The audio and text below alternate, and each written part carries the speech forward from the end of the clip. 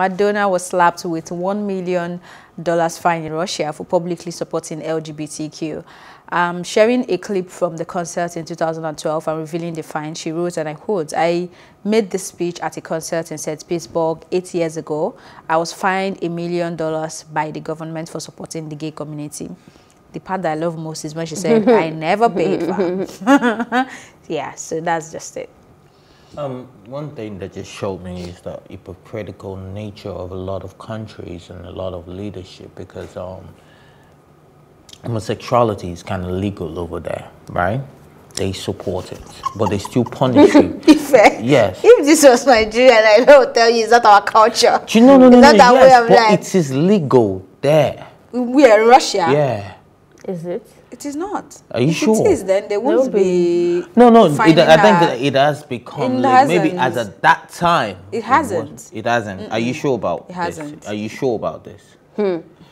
All right, cool.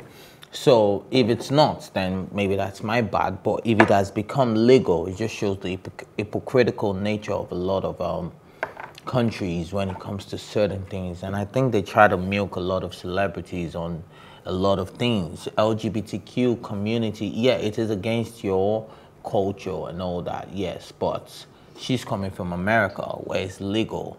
But coming to another country, obviously, it's wrong. But I understand where she's coming I, I prefer it if you were calling the hypocrisy based on. I don't really care what your culture is or what your religion is. If you call a gay person to come and perform, like, what are you expecting? I think that's where the hypocrisy lies.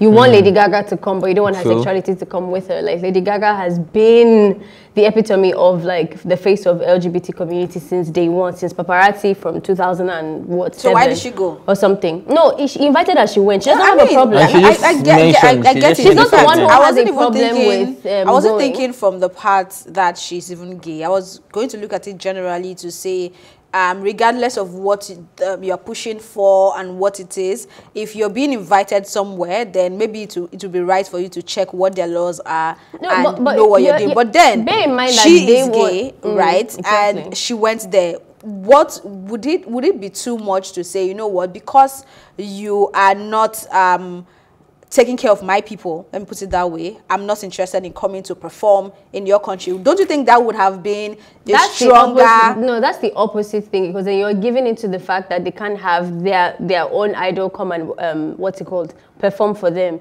So bear in mind that that doesn't favor the person who's so trying to push the agenda? she would become well, jesus well, for them mm, that's anyway, that i don't think you she might, I can guess. yeah i don't think you can arrest somebody for that but i like that they went she didn't go the, the um, russian government did not invite her the people invited her she's going to go for that and she's going to preach to the people who want her. I don't know anyone who listens to um, um, what's her name lady gaga as a big fan and doesn't madonna.